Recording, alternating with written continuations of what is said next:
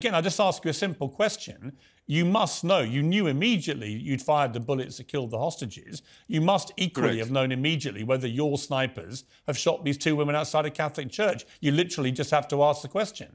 So this was But- this but happened I- this happened over the weekend. You must have had enough time now to establish was it Israeli snipers? Because uh, earlier today you were denying it, denying the suggestion it, it may have been IDF, but the Archbishop says that's a lie. So what So- is the so in- situation with the with these killings? So, so let me please answer by saying what needs to be said. Uh, It's not like someone is hanging around with a gun and, and indiscriminately shooting. We're talking about combat zones, where where that often wasn't my question. you know uh, you're my, my coming question was whether IDF under fire. Did, did IDF soldiers shoot those two women? You know the answer. It's it's still be looking into, and I'm sure that we'll be putting out a, a report. I can't prejudge the IDF's report, Piers. You understand but that. you've already prejudged. But I can the, say the you've already, hang on. You've already prejudged the killing of the hostages and said you know for a fact you did that. Why do you not know for a fact you killed these two women or not?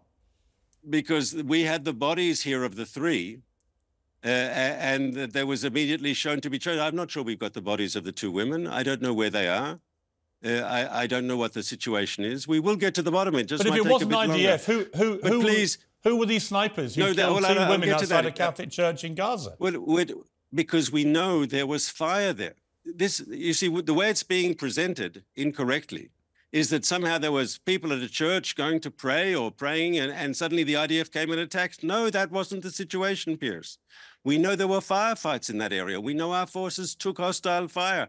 So it's quite possible that it was Israeli forces, but it's also possible that it was bullets from the other side. Yeah, but I think we're you're stretching my. I'm sorry, zone. but you are stretching my credulity to try and make me think you don't know the answer after all this time, given how clear you've been about the other incident and IDF culpability. in I'm sure a full IDF report will come out shortly, and I urge you, please be patient. It's it's worthwhile waiting for the full report. And if it transpires, as everybody believes, and as the Archbishop of Westminster said, had come directly from information on the ground that he believed was credible, uh, relayed to him by the Archbishop of Jerusalem, and what the Pope himself has called an act of terrorism, if that turns out to be indeed the, work of the IDF again, what would your response be?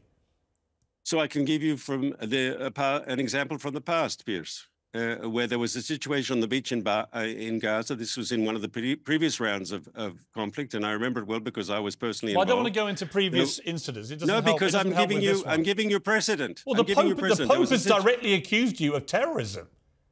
No, but, but So I mean, me I do think I do think it's incumbent on the on you as a government to very, very, very quickly tell the world what happened here. Citing And we- previous incidents in previous wars and conflicts is kind of meaningless, frankly. I mean, No, but but I'm but I but judge us by our track record because in the past we have come clean when there was an accident and we uh, we mis- misidentified a target and we killed innocent people and that's what I'm starting to tell you. We have come and admitted that we've made a mistake. you must It know if you had we snipers in that it. area by that church who shot people.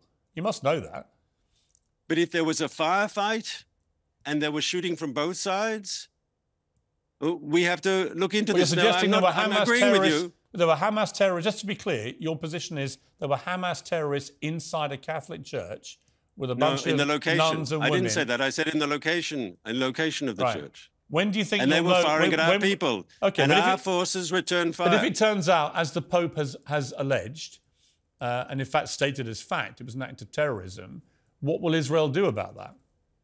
But can, can I say the following, which I don't accept in, in the accusations? I can accept the possibility that they were uh, uh, killed unintentionally, uh, caught up in the crossfire.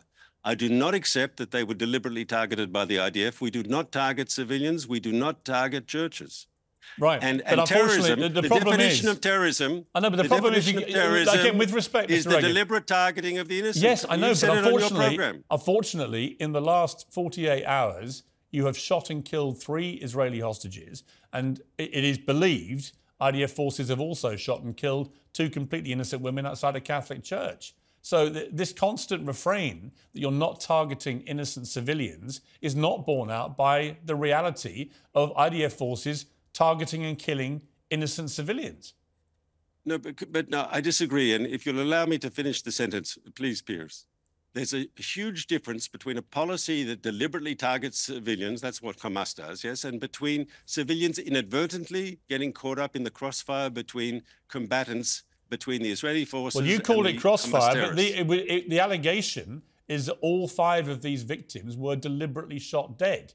The two women by But if- snipers if- and the three they- hostages if- by well, in IDF the first forces. place, no. Let's be clear. If there is a trial, right? Let's let's say the accusation against the soldiers who killed the three uh, Hmm. hostages, it wouldn't be a murder trial. It would be a trial if there was a trial, and I don't know there will be. Yes, but but they would be accused of negligence or of not, misidentifying a target. Yes, murder and terrorism is the deliberate targeting of the incident, I understand, but and it's not clear that in either of these cases that applies. right, but it may well be that that's what what happened. You can't rule that out either. Well, that's why you've got to do an investigation. Right.